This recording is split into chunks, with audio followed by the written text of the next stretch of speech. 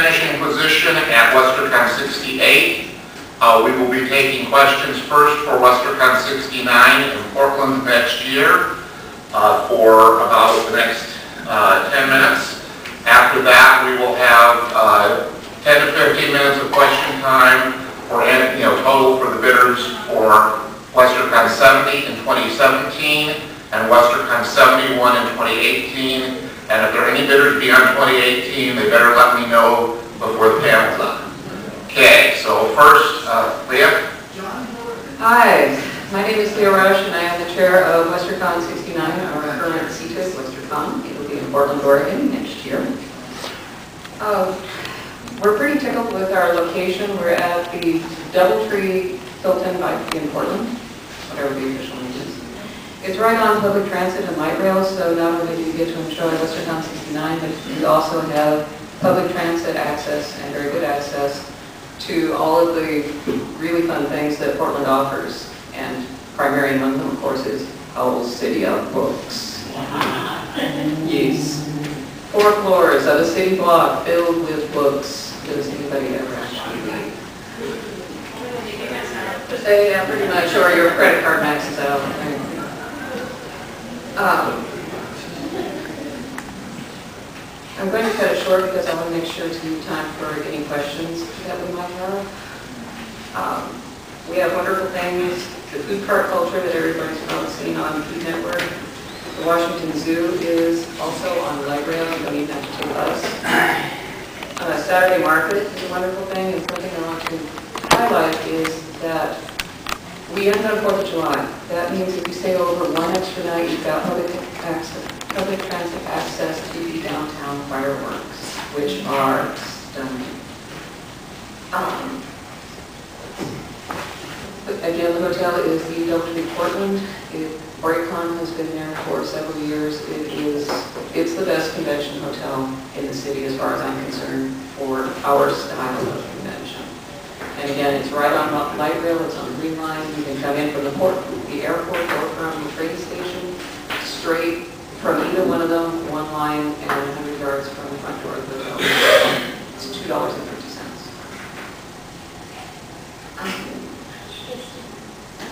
Guest of honor list. Oh, one more thing, if you're giving, if you're giving a party, there is a major grocery store within about two blocks, so that helps. Mhm. Um, Our, we're really excited about our guest of honor, our author guest of honor is John Scalzi. Our artist guest of honor is the lovely Theresa Mather. She is right back there, say hello Theresa. We're very excited about that. Bobak Ferdowsi is otherwise known as Mohawk Guy, is going to be our science guest of honor, and I'm here to tickled that report on that. Oh, Mohawk, though. Yes, from the Mars Overland.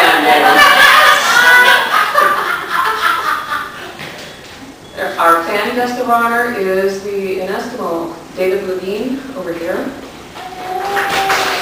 uh, our special guest of honor is Charlie Stross. So, he'll be coming. And um, that concludes my part of talking. So, Helen, I head of programming. Talk about over Hi, is this on? Okay. Um, so, like this convention, we are overlaying a local convention that's during the same time period, and that is GearCon. It is Portland's premier steampunk convention. They are every Fourth of July. They agreed to share space with us, and so as part of our programming, we are going to keep several of their normal items, and that includes the Victorian Symposium, where a martial art club that specializes in Victorian martial arts, pugilant, sword, um, I can't pronounce some of the ones. They do all-day symposiums, um, teaching you the different forms of Victorian martial arts. They also have a cabaret, which will be part of the art show. They are very, very artistic. We're going to have a full masquerade, and Don Glover from Seattle will come down and run it. It will be a formal masquerade. There will be lots of costuming. There will be professional photography after the masquerade, and that will also be for people who are just in costume.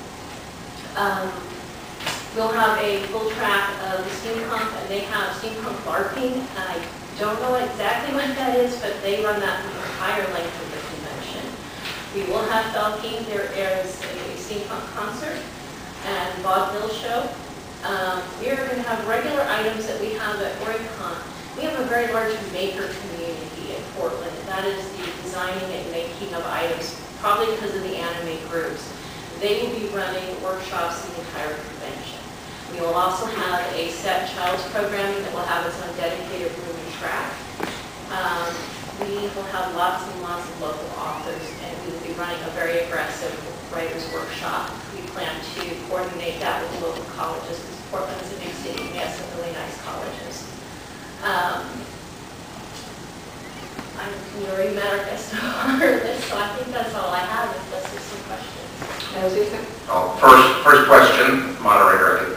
Uh, room rates? room rates are $124 for a single queen and for king and double queen, it is 139 Okay. Yes, ma'am. Um, Oh, the I'm sorry, she was first there. I'm sorry. um, So, the, the big question for me is, what are you going to do about reaching out to diverse, uh, diverse audiences? Uh, Questions Our about, best. The question, yeah, the question about reaching out to diverse audiences? Um, Yes, we're working I was with, already asked to make sure that I balance out, I was already asked to balance out who we're going to invite for our guest list, and we're working on our first wave now. Um, And there is a larger community, I think, of, of people of different ethnic and gender groups in Portland, so you'll have an easier time reaching out. We've also offered 10 scholarships to Con or Bust for exactly that reason. Pardon my bottle. Yes. Anyway, yes, Uh. It was just uh, defined late summer, August, It is, for the, ho- for the hotel reservations. uh, I've actually asked my hotel liaison to get that as soon as possible. I'd like to have that up on the website this month. We will announce it on Facebook and Twitter. Yes, sir. Can you repeat your rates, please? I, I was confused. 124 for a standard room, 139 for what they call deluxe. And the differences. Single queen is the standard rate, and king and double queen is the deluxe. Wow. For two years out, for what it costs in Portland, those are actually pretty good rates. It's sad, but yes. Anyone else?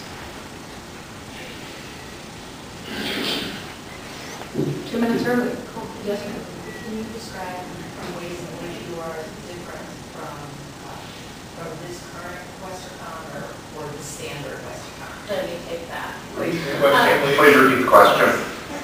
She wants to know how um, our site will be different from this site. For one thing, we are in the downtown area on the east side. It is easily reachable from the airport by the tram. um, And you won't need a car. You can get anywhere in Portland from that location, whether it's the brewery, if you want to go on the brewery tour. We will be having beer lounges as well as coffee lounges. Um, you can get to any of the major tourist attractions from where we're at on public transit easily. It is not going to be inconvenient.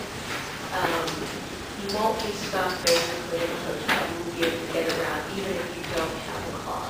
That is one of the advantages. Um, GearCon is a pretty good sized con. There'll be a lot of people. So, I don't know, it's, it's a party atmosphere. It's a lot of fun. Every Western con tends to pick up the local flavor, so for what that's worth. Uh, We've got one more minute, I think. Uh, I've got like 15 seconds, so Thank you very much for coming. We're really looking forward to next year. thank you.